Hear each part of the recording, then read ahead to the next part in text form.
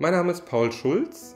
Ich bin Julita Witt. Mein Name ist Matthias Tönnissen. Mein Name ist Petra. Mein Name ist Andreas Clemens. Mein Name ist Stella Maria Adorf. Mein Name ist Sean. Mein Name ist Christian. Mein Name ist Ute Sute. Mein Name ist Norman Stehr. Mein Name ist Luca Jerome. Mein Name ist Ole Lehmann. Ich arbeite als Beziehungs- und Life-Coach. Ich arbeite als Social Media Manager. Als Softwareentwicklerin. Ich bin Schüler der 11. Klasse. Ich arbeite als Journalist. Als Schauspielerin. Flugbegleiter.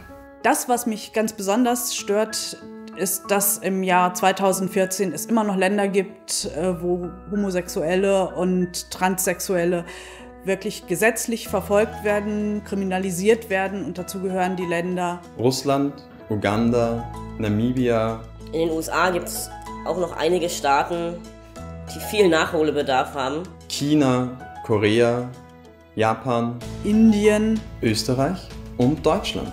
Und viele, viele mehr. Mir reicht's. Es gibt keine unterschiedlichen Wertungen zwischen Homosexualität und Heterosexualität. Mir reicht's. Es ist Zeit, dass sich was ändert. Beides ist gleich viel wert. Beides hat es immer gegeben. Beides wird es immer geben.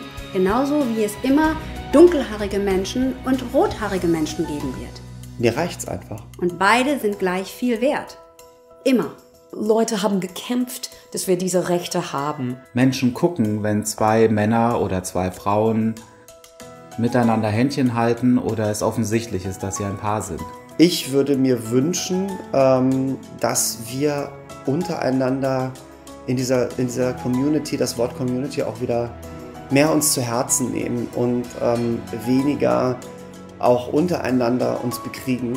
Ich glaube, Menschen werden wesentlich fröhlicher und auch offener. Ich glaube, die größte Angst, die jemand hat, ist die Angst vor der Angst. Uns geht es hier relativ gut. Woanders sind sie immer noch in Lebensgefahr.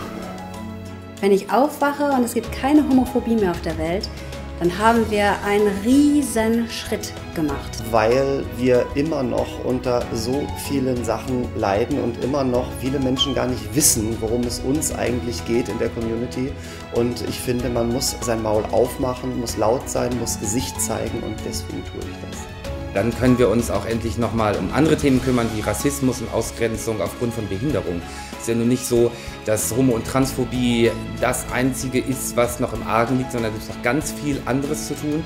Und ich denke mal, wenn die Leute, die von Homo- und Transphobie betroffen sind, wenn das Potenzial sozusagen frei würde, auch gegen andere Phobien anzukämpfen, dann wären wir schon ein ganz schönes Stück weiter. Komm zur Demo am 17. Mai nach Berlin.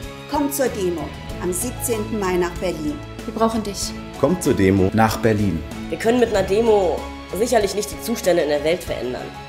Aber wir können auf diese Zustände aufmerksam machen. Deine Stimme zählt. Ich weiß, wir haben alle wahnsinnig busy und beschäftigte Leben. Wir haben alle keine Zeit und niemand kann etwas machen. Egal.